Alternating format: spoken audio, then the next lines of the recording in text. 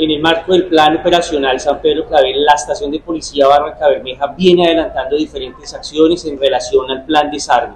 Es por eso que le podemos decir a la comunidad que hoy tenemos un incremento en las diferentes incautaciones que se hacen al respecto. El año pasado tuvimos 284 armas blancas incautadas en diferentes procedimientos, muchos de ellos relacionados con riñas y agresiones a otras personas, y el día de hoy tenemos 884 armas blancas.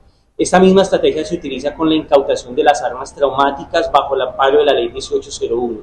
El año pasado tuvimos 29 armas traumáticas incautadas y este año tenemos más de 69.